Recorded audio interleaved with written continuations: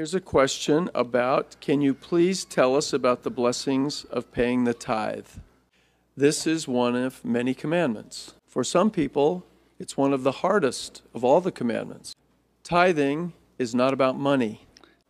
Tithing is about fe in Christo. Fe is a principle of action and of power. When we have faith in Christ, then we act in accordance with his teaching. Then we are blessed with his power. We don't get the power so we can act. We act, and then we receive God's power through the Holy Ghost. I've had the opportunity to be with the presidents of the church and listen to their teachings in many different lands.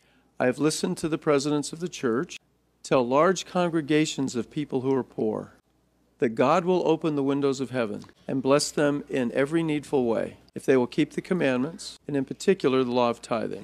Do you remember that the Sabbath day is the Lord's day?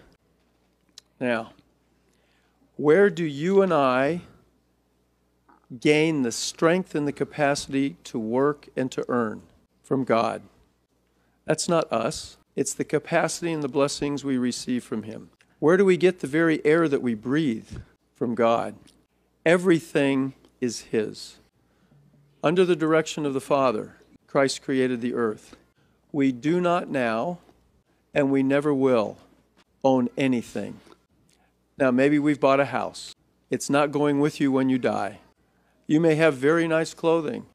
It's over when you're dead. The capacity to earn and have a home, the capacity to work hard and buy food and have clothing. All of these things are gifts from God. And He asks for one tenth.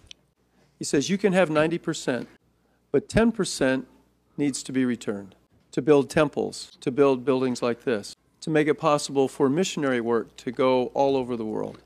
It's His, it belongs to Him. And He lets us keep 90%, and He requests that we give back 10%. Can you see that this is about fe, not about money? It's about understanding the plan of happiness. And when we give Him back what is His, He blesses us in remarkable ways.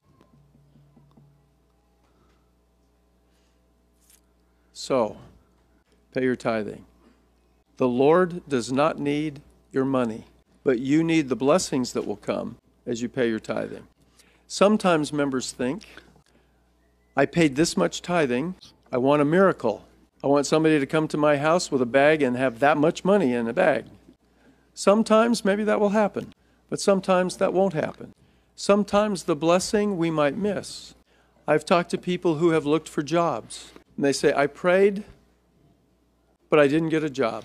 They expected God to just deliver the job. After you pray, go search, go work. You will be blessed to work better, to search longer, so you can find a job. But God will not just bring the job to your house, you have to act. So, the blessings of tithing. I just want to summarize it this way. My wife and I have seen these blessings in all of the different forms they come, all of our lives. I pray you will have the faith, the simple faith, to keep the commandments and do what you know you should do so that God can bless you in the ways you need to be blessed. Okay, let's take another question from here.